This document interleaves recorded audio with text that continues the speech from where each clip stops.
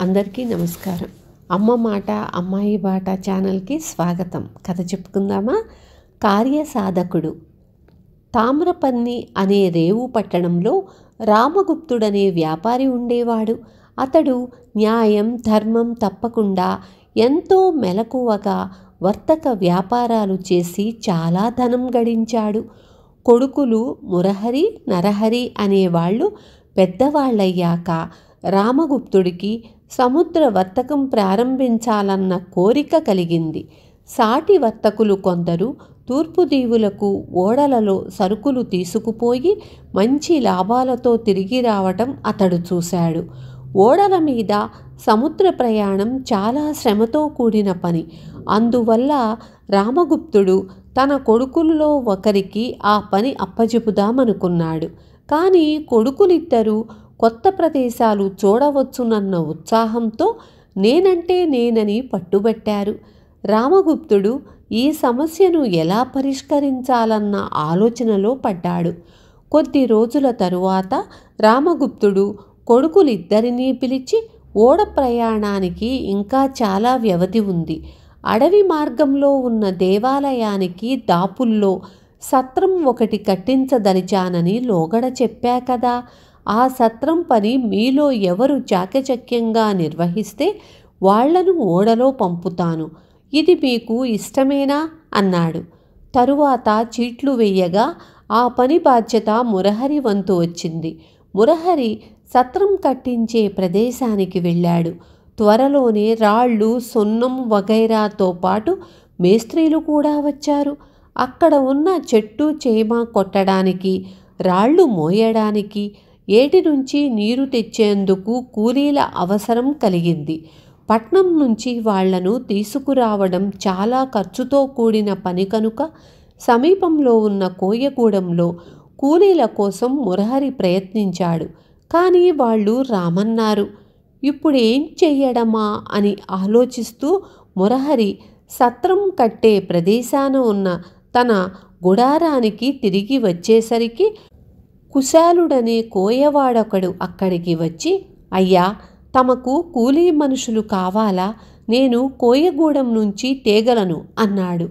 మురహరి కొంచెం ఆశ్చర్యపోయి సరే వంద మంది కూలీలను తేగలవా? అని అడిగాడు.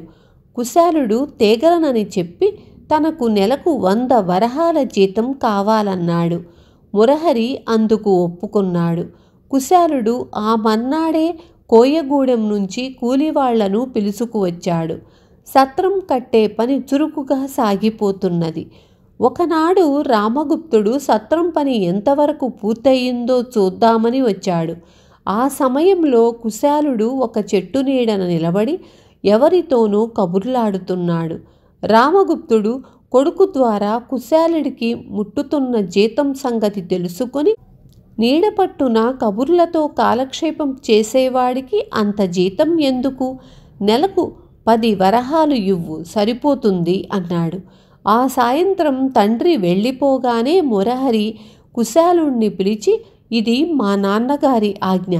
ఇక నుంచి నీకు నెల జీతం పది వరహాలు అని చెప్పాడు. మర్నాడు పనివాళ్ళెవ్వరూ రాలేదు. మురహరి స్వయంగా కోయగూడానికి పోయి అడిగినా వాళ్ళు పనిలోకి రామని నిర్మోహమాటంగా చెప్పేశారు. సత్రం కట్టే మేస్త్రీలు వచ్చేది వర్షాకాలమని సత్రం పని ఈలోగా ముగించకపోతే చాలా నష్టపడవలసి వస్తుందని మురహరికి చెప్పారు.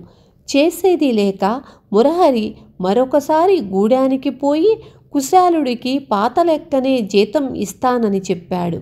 ఆ మర్నాడు కూలీలందరూ పనిలోకి వచ్చారు. రెండు వారాల తరువాత రామగుప్తుడు మరొకసారి సత్రం పని చూడడానికి వచ్చాడు. మురహరి తండ్రికి జరిగిన సంగతి చెప్పాడు. రామగుప్తుడు చిరాకు పడుతూ ఇలా అయితే ఖర్చు రెట్టింపవుతుంది. ఇక నీ ప్రయోజకత్వం ఏమిటి అని వెళ్ళిపోయాడు. మురహరి మరొకసారి కుశాలుణ్ణి పిలిచి జీతం పది వరహాలు మించి ఇచ్చేది లేదని చెప్పాడు. ఆ మర్నాటి నుంచి కూలీలు రావడం మానారు. మేస్త్రీలు తిరిగి గొడవ ప్రారంభించారు. మురహరి పని అడకత్తెరలో చిక్కినట్లయింది. అతడు ఇంటికి పోయి తండ్రితో సత్రం కట్టించే పని తన వల్ల కాదని చెప్పేశాడు. రామగుప్తుడు చిన్న కొడుకు నరహరిని పంపాడు. నరహరి వస్తూనే కుశాలుణ్ణి పిలిచి నీకు నెలకు పది వరహాల కన్నా జీతం ఇవ్వను. అది మా నాన్నగారి ఆజ్ఞ. ఇకపోతే పని వాళ్ళందరి మీద పెద్దగా వ్యవహరిస్తున్నావు కనుక రోజుకు మూడు వరహాల బత్యం అదనంగా ఇస్తాను. ఇష్టమైతే మీ వాళ్ళందరినీ పనికి రమ్మను. లేకపోతే పట్టణం నుంచి రేపీ పాటికి మనుషుల్ని పిలుచుకు వస్తాను అన్నాడు.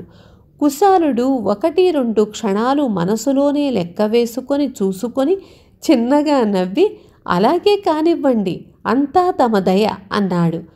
సత్రం కట్టే పని పూర్తి అవుతున్న తరుణంలో రామగుప్తుడు మరొకసారి వచ్చి కుశాలుడికి తన చిన్న కొడుకు నెలకు పది వరహాల జీతం మాత్రమే ఇస్తున్నట్లు తెలుసుకొని మీ అన్న సాధించలేనిది నువ్వు సాధించావు.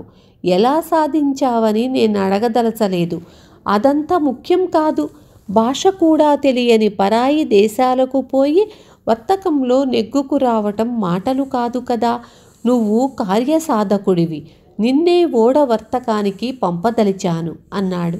ఈ సంగతి విన్న మురహరి ఆశ్చర్యపోతూ తమ్ముడి దగ్గరకు వచ్చి కుశాలుణ్ణి పది వరహాల నెల జీతానికి ఎలా ఒప్పించగలిగావని అడిగాడు.